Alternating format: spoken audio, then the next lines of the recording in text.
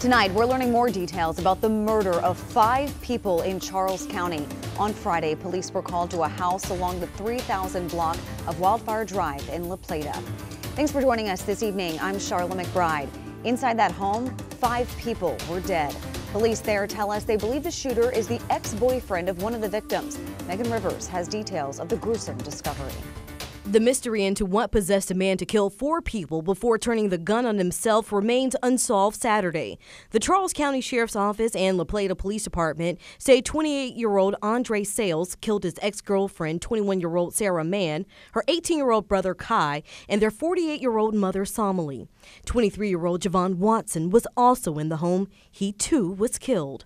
Detectives say the gunman then killed himself.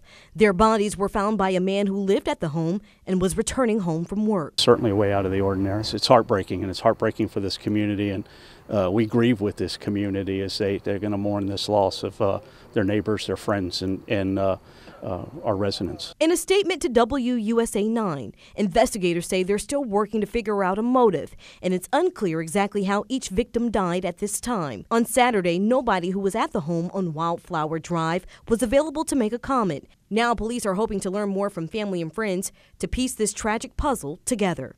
Reporting in La Plata, Megan Rivers, WUSA 9.